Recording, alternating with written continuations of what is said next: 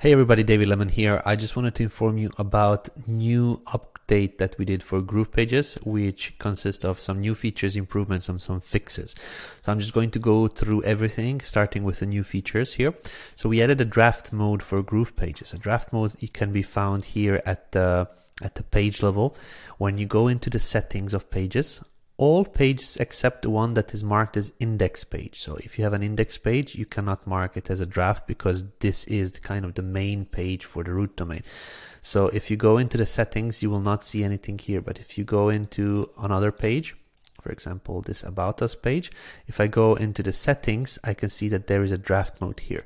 So the draft mode is pretty much going to disable the page from being shown live and that's its whole purpose. So you can publish the whole page while, while still uh, you are still working on this one. You can put it at the draft mode. It will uh, just not be visible live. It will still show up in the actual um, navigation over here so that it is a page that you can you can see that it is going to be ready, but it's not going to be opened. It's going to show a 404 page once you uh, publish it out and you click on it. Also, for the draft mode currently, you need to disable the hide, or I mean, you need to enable the hide from sitemap option in case you do not want the the sitemap to consist that draft page while you are still working on it.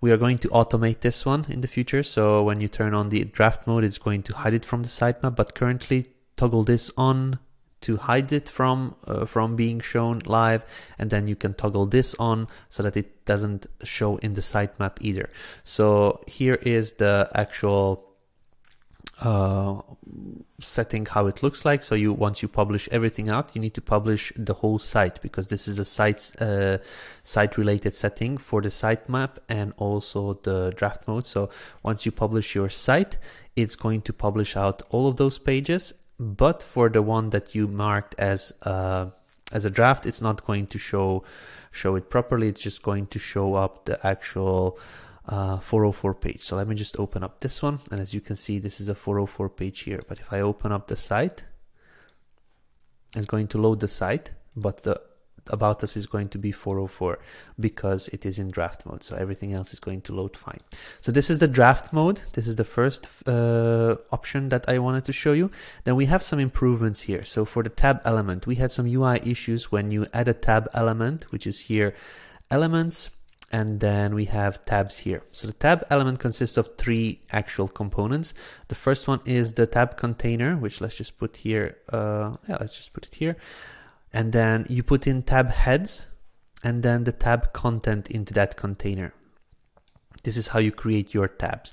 Now, what happened is when you go and configure the tabs over here, uh, you were adding a lot of tabs and it was just adding it with a name tab. First, you didn't know which one is the new one that got added, which one was the old one, and now we renamed it and made it a little bit, uh, a little bit more easier on the eye. So when it's getting added you see what which one is getting added and you get a, a scroll bar over here. We didn't get a scroll bar and it was kind of all messy.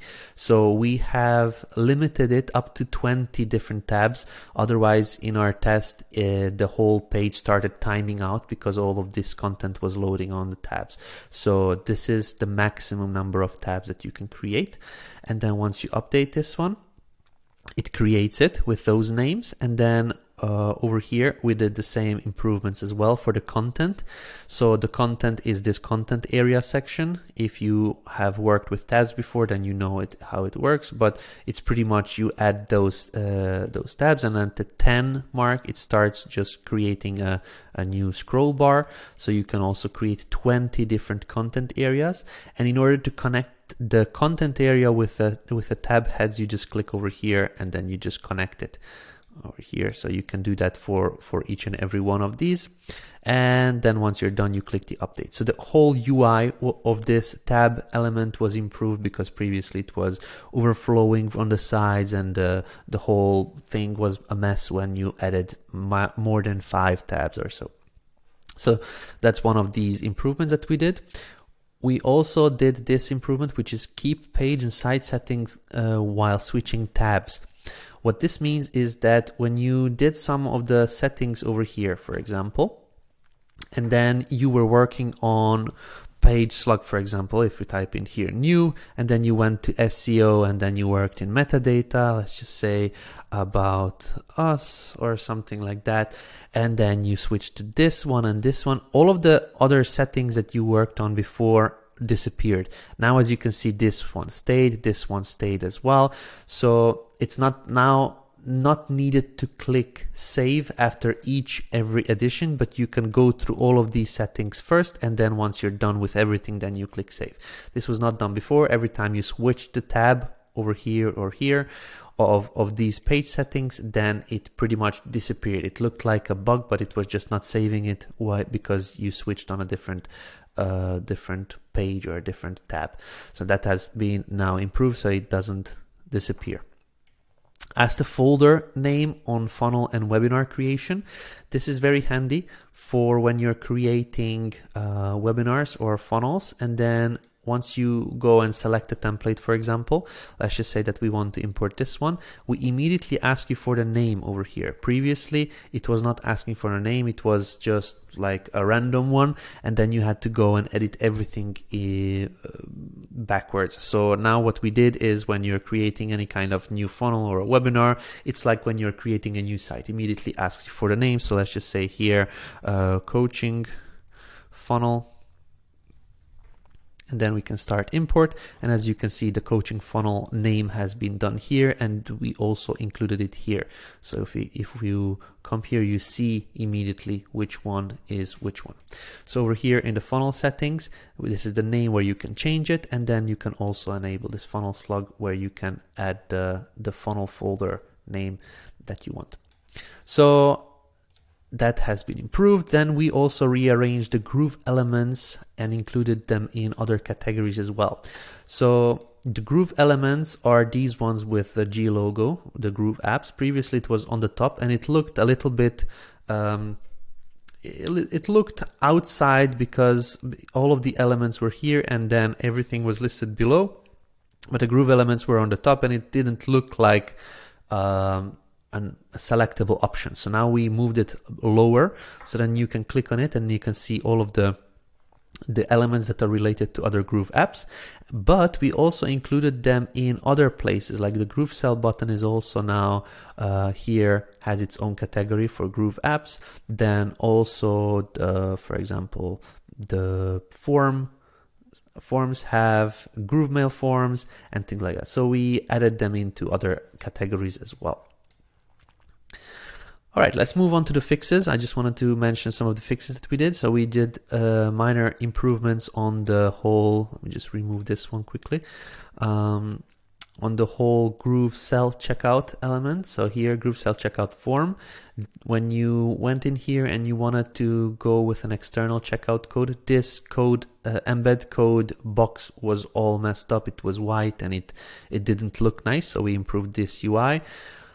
And uh, the meta info uh, tab could not be opened.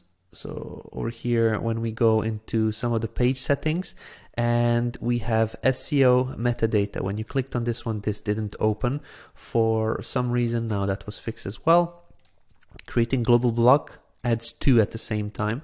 So when you went into, um, oops, wrong button here. So when you went into global blocks and you created a global block, let's just let's just this one. Here it created two so I'm just going to delete each and every one of these so that you can see that it has been fixed. All right so we have global block 4 if I add a new one it's global block 2 and it doesn't show another one. It is just one added. Uh, horizontal tab losing styling when zooming in and out. What this means is that if we go onto the homepage for example now it's saving my changes. Let's give it a moment. We're at the global block. All right, so we are here at the home page. And then when we preview this middle device or the, so pretty much the, the tablet devices, this one and this one were giving the issues when you, you were at the 90% level with your browser, then the styling got uh, disappeared. So it was pretty much removing all of the styling for some reason. Now this is this has been fixed. It is not doing that anymore. Um, a lot of times when people were at the 90% level with their uh, with their browser and then they entered the builder and saw that the styling was was removed, then they immediately um, got frustrated, went to support. It was just a, a, a Chrome issue, and now we have resolved that. It does not happen again. All right, and then the GrooveMail form is considered as an integration that causes issues on free plans. What we did with this one is when you add a GrooveMail form element anywhere on the page, it is not considered anymore as an external integration. The reason for this change is because when you are on a free account, you have ability to collect contacts using GrooveMail and you would like to use the GrooveMail form, right? So uh, we do not allow the code embed element on the free accounts, but the, the GrooveMail element is the one that you could use. So now it is not giving out any more issues when you would like to publish and you're on a free account and you have a GrooveMail form on there. So these are the actual changes and uh, improvements and fixes that we released. We have many, many more coming. We have pretty much 20, 30 more uh, cards or uh, 30 more tasks that are uh, in the testing period at this moment. So I'm going to uh, create a new video once those are ready to be announced. And yeah, that's it. Hope you like it and then enjoy building your pages.